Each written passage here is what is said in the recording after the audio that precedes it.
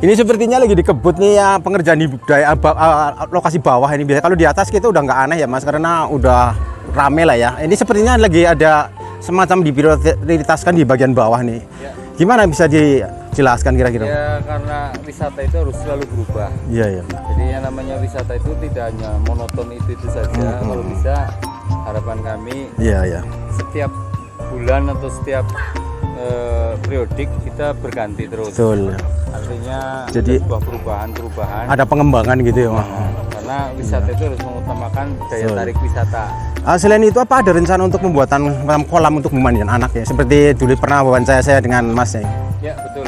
Jadi kolam renang anak itu kita lagi coba ya.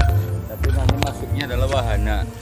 Yaitu di seperti itu ya. wahana Itu yang permainan anak. Iya iya.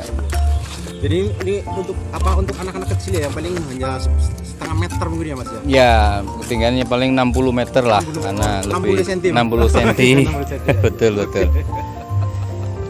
Iya. Oke ya.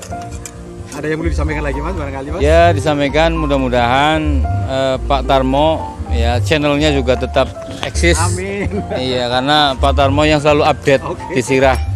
Nggak, eh, karena desa kita desa Winduaji kan sudah kategori desa wisata Mas Tarmo. Jadi mohon selalu terupdate selalu oleh Pak Tarmo. Mas Tarmo juga bisa subscribe-nya lebih banyak. Amin amin. Karena menginformasikan sebuah kebaikan itu kan satu ibadah.